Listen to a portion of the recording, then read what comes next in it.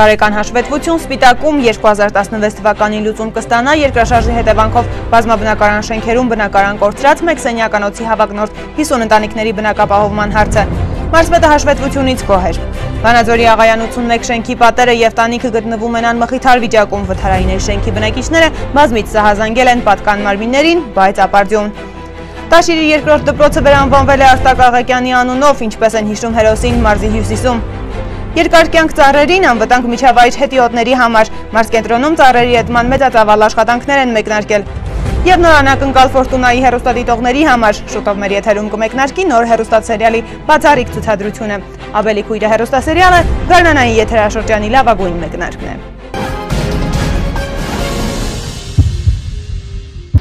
Մարզայինի եթերում իր աշխատանքն է շարունակում մոլորակ լրատվականը, բարև ձեզ։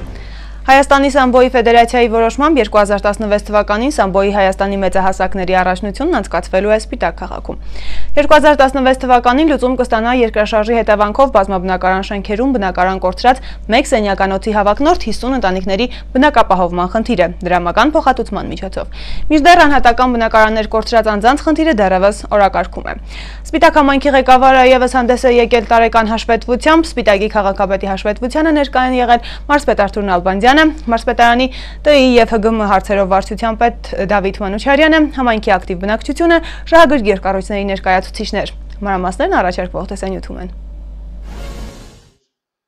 Սպիտակ համայնքի ավականու առաջին նիստն է նիստի օրակարգային առաջին հարցերը վերաբերում էին համայնքի զարգացման 2013-2016 թվականների զարգացման ծրագրի ու բյուջեի կատարողականի հաշվետվությանը, որը ներկայացրեց քաղաքապետ Գագիկ Սահակյանը։ Քաղաքապետը ներկայացրեց նշված ժամանակահատվածում համայնքում անցկացված սպորտային հաջողությունները, խոսեց մշակութային միջոցառումներից։ Ամենամեծ ձեռքբերումը քաղաքապետը համարեց նախագահի հովանավորությամբ 2014 թվականին մեկնարկած եւ նախորդ տարի շահագործման հանձնված մանկապատանեկան մարզադպրոցի նոր մասնաշենքի կառուցումը։ Ծրագրի ընդհանուր արժեքը կազմել է 220 միլիոն դրամ։ Քաղաքապետը ներկայացրեց նաև բյուջեի կատարողականն ըստ հարկատեսակների նրա տեղեկացմամբ 2015 թվականի սեփական եկամուտների կատարողականը կազմել է 101.63%։ 2014 թվականի համատությամբ հավաքագրումն աճել է 10 միլիոն 637 հազար 8 դրամով։ Հողի հարկի կատարողականը կազմել է 103.7%։ Շենքշինությունների գույքահարկին է 85.4 եւ փոխադրամիջոցների գույքահարկի կատարողականը 118 8.2%։ 2015 թվականին պլանավորվել է 340 միլիոն 764 հազար դրամ եկամուտ, փաստացի կատարվել է 346 միլիոն 213 հազար դրամ, 101 տոկոս։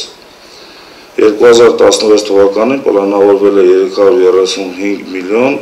316 հազար դրամ եկամուտ, 2015-ի փաստացի կատարումից մոտ 10 միլիոն դրամով պակաս։ 2015 թվականի ընթացքում մի շարք սոցիալական ծրագրեր են իրականացվել մի շարք համագործակցությունների արդյունքում։ 2015 թվականի համայնքային բյուջեից սոցիալապես անապահով 70 անձի հատկացվել է 2 միլիոն 839 հազար դրամ։ Քաղաքապետի տեղեկացմամբ հաշվետու ժամանակահատվածում մի շարք կազմակերպությունների հետ համագործակցությամբ բացվել են նաև աշխատատեղեր։ 2015 թվականին Ագեստանի փողոցի ճանապարհի փլուզումը կանխելու նպատակով պետբյուջեի միջոցներով կառուցվել է 10 միլիոն երկարությամբ հենապատ 5 միլիոն դրամ ներդրմամբ արվել են ասֆալտապատման, փողոցների փոսային նորոգումներ, գրունտային ճանապարհների վերանորոգման աշխատանքներ։ Իսկ արդեն 16 թվականի պետական բյուջեի միջոցներով կիրականացվեն Արապնյա փողոցի ասֆալտապատման աշխատանքները։ Ծրագրի ընդհանուր արժեքը կկազմի 40 միլիոն դրամ։ Երկրաշարժից հետո քաղաքի ներհամայնքային փողոցներում եւ համայնքի վարչական տարածքով անցնող M3 մայրուղում կատարվել են միայն ընթացիկ նորոգումներ, հիմնանորոգում չի իրականացել ճանապարհների մաշվածությունը բարձր է ամենամյա վերանորոգման աշխատանքները այլևս անարդյունավետ են խնդրի կարգավորման նպատակով մեր կողմից հարց է բարձրացվել տրանսպորտի եւ կապի նախարարությանը պետական ծրագրերի շրջանակներում 160 միլիոն դրամ արժողությամբ հիմնանորոգման աշխատանքներ իրականացնելու համար, սա միայն ներհամայնքային ճանապարհների համար, բայց պարոն մարզպետ, ես կխնդրեմ նաև ձեր միջնորդությունը տրանսպորտի նախարարին, որպեսզի M3 մայրուղու մոտ մոտ 10 կիլոմետրանոց հատվածը շատ համբարեկարգ վիճակում է եւ փոսային նորոգումները որևէ արդյունք չեն տա։ 2016 թվականի լուծում կստանա նաև երկրաշարժի հետևանքով բազմաբնակարան շենքերում բնակարան կորցրած մեկ սենյականոցի հավակնորդ 50 ընտանիքների բնակապահովման խնդիրը դրամական փոխհատուցման միջոցով, մինչդեռ անհատական բնակարաններ կորցրած անձանց խնդիրը դեռևս օրակարգում է։ Առայժմ վերջիններից համար պետական աջակցությամբ ծրագրեր չեն իրականացվում, նշեց քաղաքապետը։ Սպիտակ քաղաքում դեռևս բավականին անելիքներ չհաղթահարված խնդիրներ կան, որոնք մեծ միջոցների արկայության դեպքում միայն կարող են լուծում ստանալ։ Անդրադառնալով երկրաշարժի հետևանքով բնակարան կորցրած ծրագրի շահառու 50 ընտանիքների բնակապահովման խնդրին, մարզպետը վստահեցրեց, որ այս տարի նրանց հարցը վերջնականապես լուծում կստանա։ Պետական բյուջեից 225 միլիոն դրամ կհատկացվի Սպիտակի մեկ սենյականոց բնակարանների հավակնող շահառուներին գործընթացը ինձ թվում է արդեն մոտակա 1 ամսվա կամ մաքսիմում 2 ամսվա ընթացքում մենք կսկսենք եւ այն շահառուները, այն ընտանիքները, ովքեր շահառուն են ճանաչվել տարիներ առաջ, նրանք կսկսեն իրենց գումարները ստանալ ԲԳՎ-ների տարբերակով, այսինքն գումարը կստանաք բնակարան ձեռք կբերեք։ Քաղաքապետարանը գրեթե իր բոլոր գործառույթները 100%-ով կատարում է, բայց մենք գիտենք, որ մարզում ունենք լուրջ սոցիալական խնդիրներ, Եվ այս առումով կրկնում եմ, ինչպես 15-ը, այնպես էլ 16-ը մեզ համար բարդ տարի է լինելու։ Ուզում եմ բոլորիդ կոչ ունեմ, որ այս դժվար պահերին մենք կարողանանք համախմբվենք, որովհետև համախմբված միահամոր ուժերով ցանկացած մարտահրավեր մենք ի վիճակի ենք ել ավելի արագ տեմպերով լուծել։ Պիտակ համայնքի ղեկավարի հաշվետվությունը մարզպետը դրական գնահատեց։ Անետ Կարապետյան, Համլետ Պապանյան, Մոլորակ, Սպիտակ։ Շարունակում ենք թողարկումը հիմա խնդիրների մասին Վանաձորի աղայան 81 շենքի պատերը եւ տանիքը գտնվում են անմխիթար վիճակում։ Վթարային այս շենքի բնակիչները բազմիցս ահազանգել են պատկան մարմիններին եւ տեղեկացրել բոլոր հնարավոր վտանգների ու նաեւ տիրող իրավիճակի մասին, սակայն մինչ օրս դրական տեղաշարժ չկա։ Աղայան փողոցի թիվ 81 շենքն է, Վանաձորի ամենահին շենքերից մեկը։ Շահագործման հանձնվել է 1964-ին, վթարայնության երրորդ կարգի միջին սահման, 88-ի երկրաշարժից հետո շենքին տրվել է հետևյալ ախտորոշումը։ Օրերս սակայն թաղամասի հարևան շենքերի բնակիչների հետ հանդիպման ժամանակ խոսվել է այն մասին, որ շենքը հանվում է վթարայինների ցուցակից։ Նշվել, որ եթե նորոգման կամ ամրացման աշխատանքներ իրականացվելու լինեն, շենքն առաջնայինների շարքում չի լինի։ Բնակիչները համապատասխանաբար դժգոհությամբ են արձագանքել։ Մեծ զրույցում նրանք նշեցին, որ իսկապես լավ վատ իրենց միջոցներով բարեկարգել են իրենց բնակարանները։ Սակայն դա բավարար չի ամբողջ շենքի ամրության համար երաշխիքներ ստեղծելու համար, հատկապես որ 5 հարկանի շենքի հիմքերն են խարխուլ։ Շենքի տակը գրունտը լավը չէ։ Ով մտել է շենքի տակը այդ կողքը կվարտիրային առե գրունտը վեր է տապեմ։ Մեջը հող չկա արդեն։ Կան ցեմենտ չկա մեջն էլի։ Երևանից կոմիսիա եկավ։ Ասավ կապիտալնի պատը սրանից անջատված է, լանայ ին ին անտունը։ Փաջել են ջելի մենք։ Հա։ Սե ճեղքված է, ճեղքված է։ Ապրելու համար շատ վտանգավոր է։ Դողդողալ են ասում կսե աղաց մենք որ երկրաշար չեն, հեսա բլվա մնացինք տակ։ Որ փողոցով ավտոա գնալուց եմ, մեծ ավտոա գնալուց եմ շենքը շարժվում է։ Ասել են ուսիլիտ կենենք, հեմել ուսիլիտ չեն անում։ Աղայան 81-ի հաջորդ հիմնախնդիրը տանիքի անբարեկարգ վիճակն է։ Երեք շքամուտքերի վերին հարկերում որպես կանոն բնակիչներ գրեթե չկան։ Դռները փակ են, սակայն ինչպես ասում են, ջուրն իշ ճամփան գտնում է, իջնելով հարկից հարկ։ Տեղում նարադ եղանակներին հոսած ջրերը լցվում են տներն ու շքամուտքերը, ակնհայտորեն էլ ավելի խոնավեցնելով շենքի բորբոսած պատերը։ Տնագը բլվում է, ջուրը թափում է պատերի մեջ, քարերը վերեգնում, ում ասում են, մենք այդ գումարը չունենք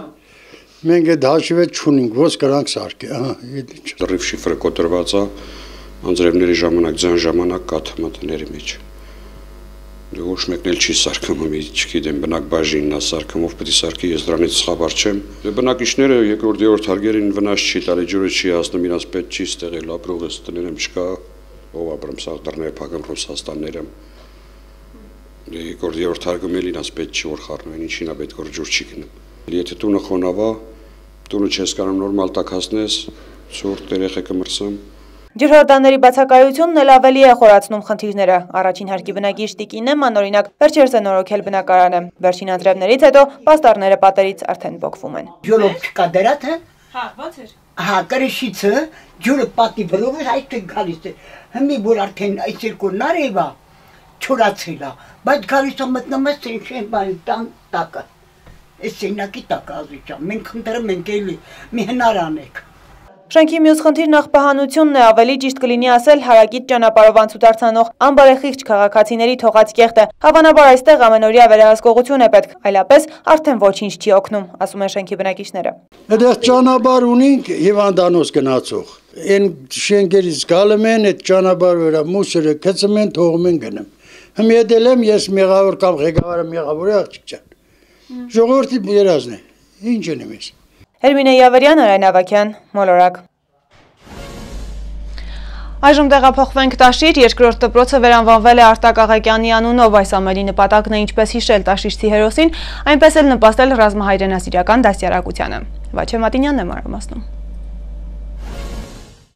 Տաշիր քաղաքի երկրորդ դպրոց անվանակոչվեց փոխգնդապետ Արտակ Աղեկյանի անունով եւ դպրոցի սրաններից մեկում բացվեց հրամանատարի парքի սրահը։ 2015 թվականի փետրվարի 28-ին ժամը 14:25-ի սահմաններում Պաշտպանության բանակի հյուսիսարևելյան ուղությամբ տեղակայված զորամասերից մեկի պահպանության տեղամասի մարտական հենակետի ուղությամբ հակառակորդը ձեռնարկել էր դիվերսիոն հետախուզական ներթափանցման փորձ։ Պաշտպանության բանակի առաջապատстоրաբաժանումները ժամանակին հավաստանշել են հակառակորդի հատուկ ջոկատայիների առաջխաղացումը եւ վերջիններիս կորուստներ պատճառելով հետն շպրտել ելման դիրքեր։ Ծավալված մարտերի ժամանակ զոհվել էին զինծառայողներ 36-ամյա Արտակաղեկյանը եւ 20 20-ամյա Հայկ Բարոյանը։ Փոխգնդապետ Արտակ Աղեկյանը իր կյանքի գնով փորձել է փրկել Հայկ Բարոյանի կյանքը, ինչը ցավոք նրան չի հաջողվել, սակայն նա իր հերոսական քայլով կարողացել է փրկել 3 զինծառայողի կյանք։ Արտակ Աղեկյանը Տաշիր քաղաքից էր ամուսնացած էր, ունի 8 եւ 9 տարեկան երկու երեխա։ Միուզովված զինծառայող Հայկ Բարոյանը նույնպես Տաշիր քաղաքից էր։ Նա տան ավակ որդին էր, ունի 4 տարեկան եղբայր։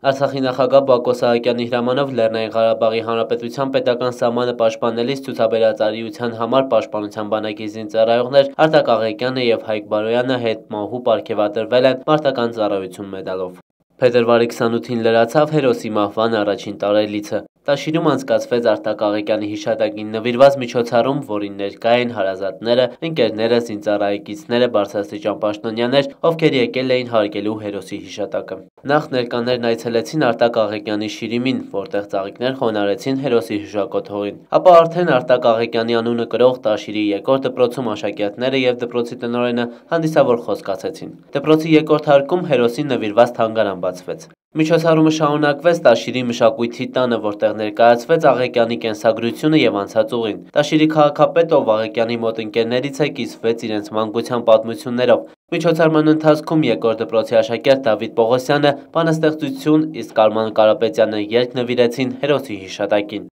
Ներկային լոռու փոխմարզպետ Տիգրան Բադոյանը, Տաշիրի տարածաշրջանի ոստիկանապետ Արտակ Հովանեսյանը եւ Մադաղիսի հրամանատարի անձնակազմի հետ տարվող աշխատանքների գծով տեղակալ մայոր Զոհրաբ Մկրչյանը, ովքեր նույնպես կիսվեցին իրենց հիշողություններով։ Վերջում զինվորի պաշտպանության կոմիտեի ներկայացուցիչ Գոհար Արմենյակյանը Արտակ Աղեկյանին հետմահու պարգևատրեց մեդալով։ Մոլորակը շարունակում է ներկայացնել նորմետ բժշկական կենտրոնի ծառայությունները, հերթը գինեկոլոգիայի կաբինետինն է։ Պարզվում է բոլոր ծառայությունները մատուցվում են մարս կենտրոնում և մայրակաղաք հասնելու հարկ չկա։ Սարգիս Գոքորյանն է պատմում։ Այսօր կներկայացնենք Նորմետ բժշկական կենտրոնի ժամանակակից տեխնիկայով գերհագեցած կաբինետներից մեկը մանկաբարձ գինեկոլոգի կաբինետը։ Նորմետ բժշկական կենտրոնի գինեկոլոգիական կաբինետում անց են կացվում կանանց սեռական ոլորտի բոլոր հնարավոր հետազոտությունները, ինչպես նաև կանանց սեռական ոլորտի հիվանդությունների մեծ մասի բուժում։ Գինեկոլոգիական կաբինետում կատարվում են բոլոր անհրաժեշտ միջոցառումները առաջնային զննումից, խորհրդատվությունից մինչև արգանդի խորոչի եւ ցերվիկալ խողովակի առանձին քերում։ Բոլոր հետազոտությունները ինչպես նաև բուժումը կատարվում են ամենավերջին սերնդի բժշկական սարքավորումների միջոցով։ Նորմետ բժշկական կենտրոնում հնարավոր է բուժել կանանց սեռական ոլորտի հիվանդությունները ամենաժամանակակից եւ ակտուալ մեթոդներով, որոնք իրենց մեջ ներառում են ինչպես բուժման դասական սխեմաներ, այնպես էլ ամբողջ աշխարհում հաջողությամբ կիրառվող նորագույն մեթոդների օգտագործումը, ինչպիսիք են լազերոթերմո եւ կրիոթերապիան, ինչպես նաև ներկայումս լայն կիրառում ստացած օզոնոթերապիան։ Մի խոսքով այս կաբինետում եւս ստեղծված են բոլոր պայմանները հաճախորդներին բարձր մակարդակով սպասարկելու համար։ Գինեկոլոգիական կաբինետը հագեցած է բարձր արդյունավետության նորագույն ախտորոշիչ եւ բուժական սարքավորումներով։ Կատարվում է կոլպոսկոպիկ հետազոտություն, արգանդի պարանոցի, բարվուրակ, ֆոնային հիվանդությունների բուժում, ռադիոալիքային եղանակով սուրգիդրոնով, ինչպես նաև սառեցման մեթոդով կրիոկոագուլյացիա։ Կատարվում է հեշտոցի վարգանտի պարանոցի տարբեր ցակունաբանական բորբոքային հիվանդությունների բուժում, բարձրակ ներարգանդային պարուրի ներդնում, անպտղության բուժում եւ այլն։ Բացի բուժման համընդհանուր մեթոդներից, մեր կլինիկայում կիրառվում է Յարովիտ ֆիրմայի նորագույն ուրեմն բուժական սարքավորումները։ Այդ սարքավորումներից մենք լայնորեն կիրառում ենք էլեկտրոմագնիտական ուրեմն ապարատը դեղորակային էլեկտրոֆորեզով։ Այն նախատեսված է տարբեր քրոնիկական բորբոքային հիվանդությունների բուժման, ուրեմն վուլվայի կրաուրոզի, արգանդի պարանոցի էկտոպիայի, դաշտանային ցիկլի խանգարումների, անօրգազմիայի, ծնդաբերությունից կամ հղության արհեստական ընդհատումից հետո համալիր ռեաբիլիտացիայի ժամանակ։ Մյուս նորագույն սարքավորումը, որը մեզ մոտ օգտագործվում է, դա իմպուլսային սինխրոնիզացված մագնիտոլազերային թերապևտիկ սարքավորումն է, որը նախատեսված է քրոնիկական տարբեր տեսակի բորբոքային հիվանդությունների բարձր արդյունավետության բուժման համար։ Մյուս ապարատը, որը մեզ մոտ օգտագործվում է, դա հեշտոցան միզուկային ինտրաթերմ ապարատն է, որով կատարվում է հեշտոցի լորձաթաղանթի, միզուկի, արգանդի պարանոցի տաքացում եւ այն կանխատեսված է ոչ քրոնիկական սպეციფიկ, ուրեմն միզուկաբուլբերի, քրոնիկական կորպիտների, ցերվիցիտների բուժման համար։ Մյուս նորությունը, որ մեր կլինիկայում օգտագործվում է, դա ուրեմն ժամանակակից մեթոդն է արգանդի պարանոցի ֆոնային բարբուրակ հիվանդությունների բուժումը ռադիոալիքային եղանակով սուրկիտրոն ապարատով։ Ապարատի ուրեմն առավելությունը կանում է նանում, որ նա նախատեսված է արգանդի պարանոցի ֆոնային դիսպլազիաների, ուրեմն սպիական դեֆորմացիաների բուժման համար, ինչպես նաև ուրեմն հեշտոցի կանջիլոմաների, պապիլոմաների հեռացման, ինչպես նաև տարբեր կիստաների հեռացման համար։